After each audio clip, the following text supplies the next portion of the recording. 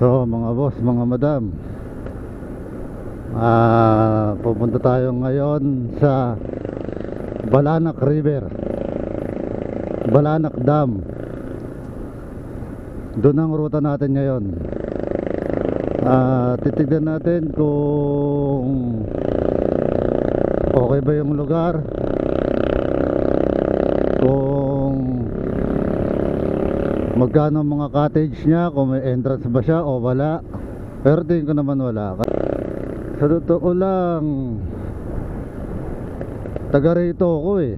Pero hindi ko pa talaga napuntahan yan. Yung Balanak River na yan. Balanak Dam na yan. Kaya ngayon pupuntahan natin. Marami kasi nagsasabi maganda raw. Eh makikita natin yan kung maganda nga talaga. Ang sabi sa way simula dito sa amin ay 11 kilometer. So ibig sabihin malapit-lapit lang pala. Na bakit hindi ko pa napuntahan dati? Malapit lang pala rito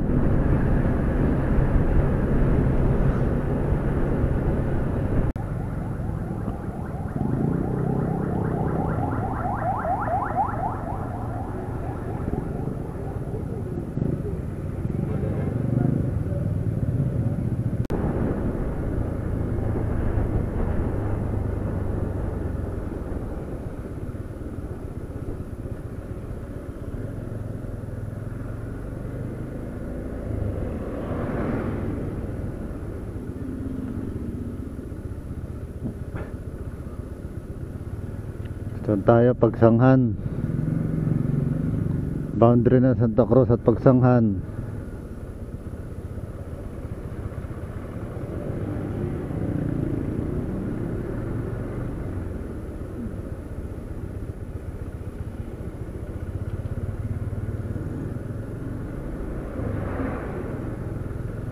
Talaga namang ang lapit nga lang talaga eh. Bakit ba hindi ko ito napuntahan talaga dati Ayan, to kakano na tayo rito sa may Jollibee. Ah, San Luis Road ito eh. Ah, kanan tayo rito. Hindi ko lang alam kung paano mag-commute papunta rito eh. Kasi parang wala namang ruta ng jeep dito. O mas pinaka mas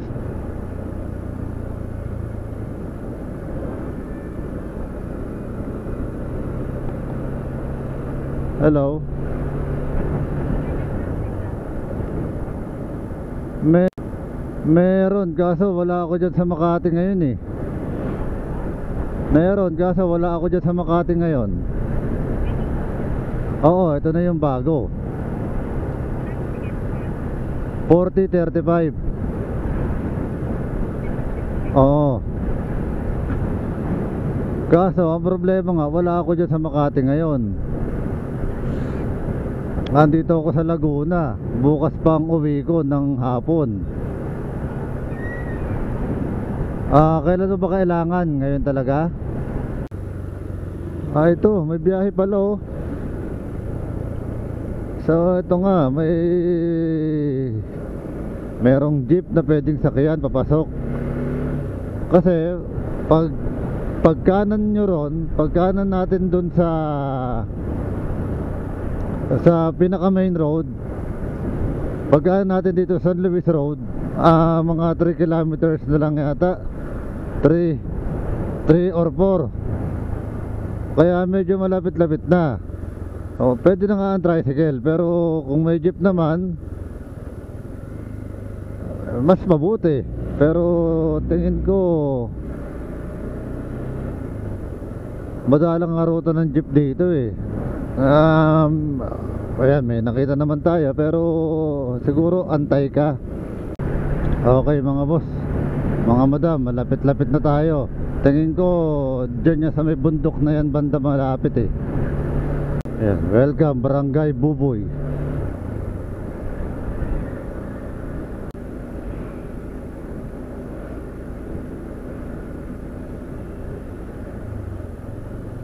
Ito, Magdalena.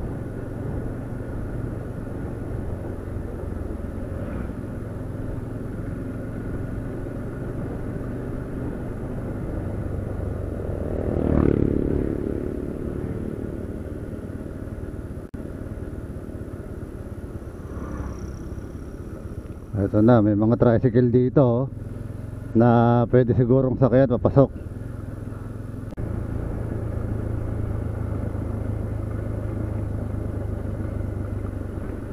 Okay yung kanal niya.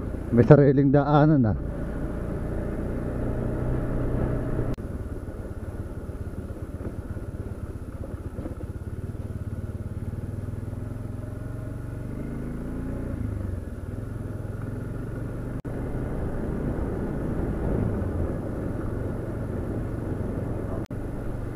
Ah, tingin ko malapit na tayo.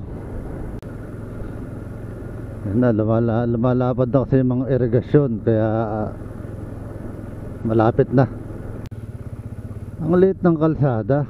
Paano kung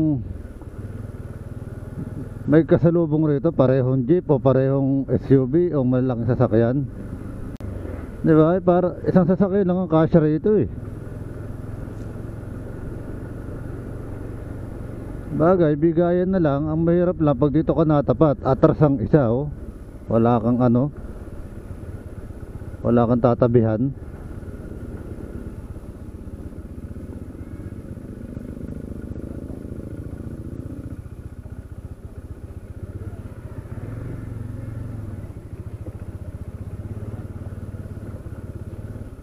Tapos, eto, rough road, papasok. So, ito pala siya mga boss. Ah, dumating na tayo.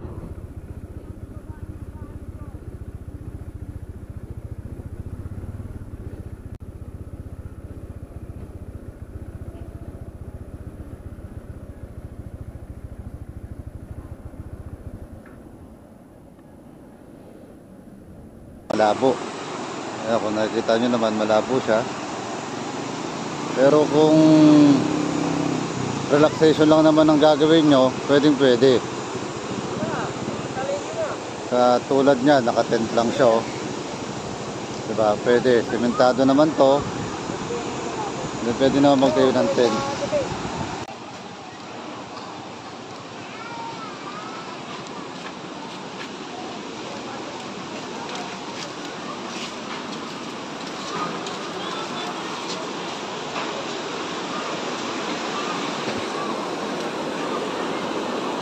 So, ito siya mga boss. Oo nga, dam na dam nga talaga. Ay, mga naliligo oh. Isa siyang malaking irrigation system na matatagpuan dito sa bayan ng Magdalena.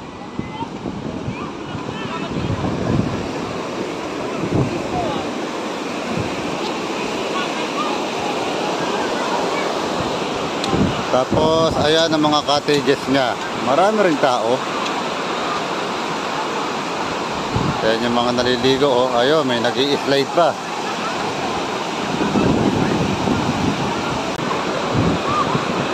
Maganda rito pero hindi lang natin alam ba't ganito ang tubig. Siguro dahil umulan kagabi.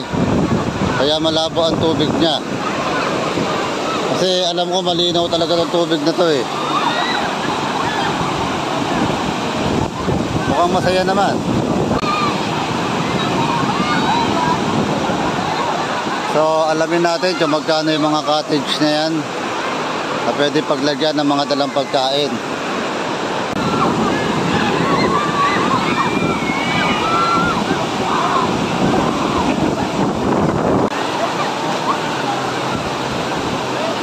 Diba? Mukhang masaya naman.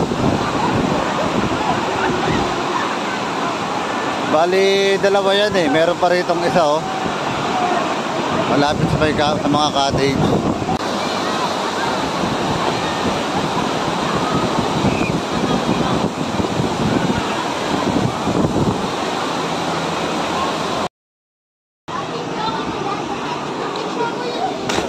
Jeremy! Pagkasan mo, takbo! Ati! Ano, ano? Ayun, ano, ano? So kuya, wala pala akong pwedeng mapagtanungan dito na information, no? Basta libre lang lahat. Kahit Meron kasi doon, nabasa ko doon, police information doon, sa may baba. Nakalagay doon. Oh, doon pa sa may baba. Oo, doon, doon, doon, oh. Nakalagay, police information. San, Eh, Santa Rosa kayo? Tricycle dala nyo? ayan, dalawa. Tatlo, tatlo. Isa, Tatlo. dalawa, tatlo. Na-search kasi namin eh. Na-search namin yung, ano, pasyalan nga natin to. Eh, natapat naman, malabo ang tubig. Oo nga eh. Pero nap, napakaganda ng view, kung view. Napakaganda. Oh, hindi. Tsaka alam ko talaga malinaw tong tubig na to. Umulan Oo, nga lang oo. talaga kaya Umano ano. lang, umano lang, lumabo dahil nga umulan Oh, kahapon daw. lahat naman ng ilog lumalabo pag katapos ng ulan eh. Mm, Pero napakaganda oh. Tapos ayun, mga sa inyo yung tent na yon. Ayan, tent namin mga, ayun, bali wala lang yung tent. O kasi nasa bubong kayo. Nasa bubong na eh. Pinagagamit naman yun. Nakalagay dyan, no trespassing. Mga boss, pwede magtanong, Ano po yan, sir? magkano ho ba yung mga cottage natin sa baba? 300 po, sir. 300 po hanggang anong oras po? Ah, hanggang maghapon na yan, sir. Hanggang maghapon po. Mhm. Pero kung allowed ho ba ang overnight dito? Oh, sir. Bali, kung may cottage po, tapos mag-overnight, magkano po ang Ah, cottage? bali, nagkakaroon, sir, ng doble. Tapos, nagkakaroon ng additional halimbawa sa ilaw at saka CR. Isang daan lang naman yun, sir. Ah, so may ilaw din pala yung mga cottage. Ah, hindi naman lahat, sir. Dito lang sa taas. Ah, yun nandito banda. Ah, sa taas.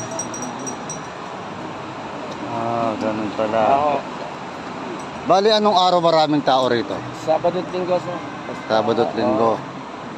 Tapos ngayon, medyo malabo ang tubig, no? Pagwaho ng pag-ulan kagabi, galing sa bundok talaga ang ano yan. Ang tubig. Hmm. So, wala namang entrance sa babayaran, no? Wala naman, sir. Yung cottage lang talaga. Ah. So, pagka magtatayo ng tent, yung tent, wala rin babayaran. Ah, halimbawa sa pwesto, meron din kapira, kaunting ano, halimbawa sa ganito, o halimbawa is sa, sa, sa sakay lang. Yun naman na pag-uusapan sir. Ah, bagay, oo. Kung, Mm. kung yung cottage nga ron, 300 lang, eh, napakalit na bagay lang eh. Hmm. Nagkataon sir na ah, maulan eh, kaya lumabo ang tubig. Hmm. Pero tumataas ba yung tubig na yan? Pag panahon ng may mga bagyuhan at saka yung talagang maulan, kahapon ang ganda ng tubig, maliit tsaka malinaw siya. Eh kagabi, kaya nga nag, nagtaka yung mga tao pagdating dito kanina. Sabi nga namin, ah, gawa ko lang yan pag-ulan sa bundok. Basta kasi yan, eh, bundok banahaw eh. Oo. Hmm. Galing sa bundok banaho yung tubig. Hmm. Kahit yung mga ah, ano sa mayhay na rekta rin sa ilog, ganyan din ang kulay. Bali boss, pagka bumalik kami rito, sino pwede namin hanapin? Ah, nalimutan ko yung contact number ko. Sir, ah, ako po si Abel. Ito po yung aking pwesto. At isa sa may mga cottage dyan. Abel Et- Valencia. Ito po, Oh, yan, ito tandaan na po. to Oh, sa inyo po. Abel Valencia. Apo, sir. Ay, sige po, kayo na lang po ang hanapin ko dyan. Sige, sir. May mga cottage din. Bali, iba't ibang may-ari. Kami magpipinsan mga may-ari dyan. Ah, mga kamag-kamag-anakan Ah, lang din pala. Ah. Ah, baka gusto niyo sir makasyat ng lambanog na puro. Hindi po, nakamotor po tayo. Ah, sige. Sige po, salamat po. Sir? So, ayun daw mga boss. Ah, siya yung napagtanungan natin na lokal. Tapos itong mga cottage daw na to, sabi niya eh mga sila lang din daw mga magkakamag-anak ang magkaka ang mga may-ari nito. 300 ngayon kung magtatayo ka raw ng mga tent dito sa siguro kung nasasakupan nila yung yung lugar na pagtatayuan mo siguro siguro kahit pakonsuelo na lang pwedeng magbigay ng mga siguro sandaan for overnight. Di ba? Maliit na bagay lang. Kung may enjoy mo naman yung lugar. Kaya tingin ko masarap dito sa gabi. Masarap mag overnight dito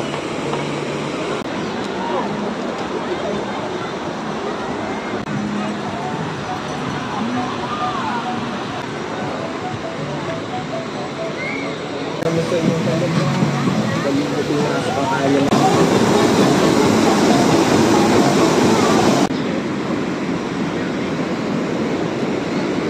Ah, yan nakabuan niya mga boss, mga madam.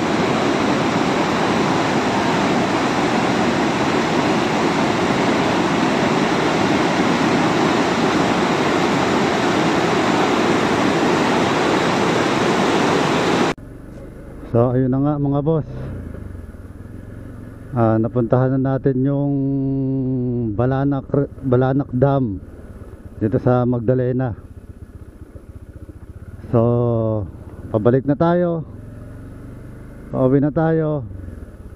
Ang importante lang sa akin yun, ma-share ko sa inyo, ma-share ko sa mga kamag-anak ko, ma-share ko sa mga kaibigan ko. So, hanggang sa susunod mga boss, mga madam. Ah, please like and subscribe and follow to my Facebook page para updated po kayo lagi sa aking mga adventure na ginagawa sa mga lugar na pinupuntahan ko. Ah, sige po, hanggang dito na lang po. Adios mga boss.